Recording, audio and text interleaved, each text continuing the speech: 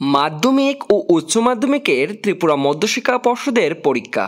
প্রিয় ভিউয়ার্স সকলকে আবারও স্বাগতম জানাই আপনাদের ত্রিপুরা স্টাডি চ্যানেলেই আজকের এই ভিডিওতে আলোচনা করব ত্রিপুরা মাধ্যমিক ও উচ্চ মাধ্যমিকের পরীক্ষা নিয়ে পর্ষদের পক্ষ থেকে কি তথ্য তুলে ধরা হয়েছে সেগুলি নিয়ে।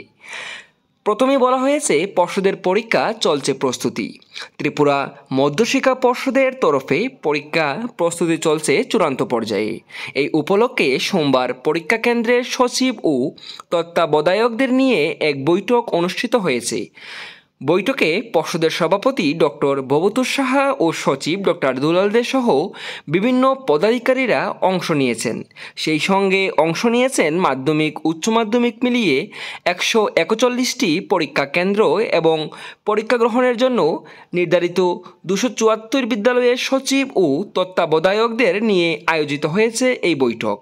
পর্ষদের মিলনায়তনে আয়োজিত এই বৈঠকে পরীক্ষা গ্রহণ বিষয়ক নানা প্রসঙ্গে আলোচনা হয়েছে। চলতি দু হাজার তেইশ সালের মাধ্যমিক, উচ্চ মাধ্যমিক সহ সমতুল্য মাদ্রাসা আলিম, মাদ্রাসা ফাজিল থিওলজি এবং কলা পরীক্ষা শুরু হবে পনেরো ও ষোলো এপ্রিল থেকেই।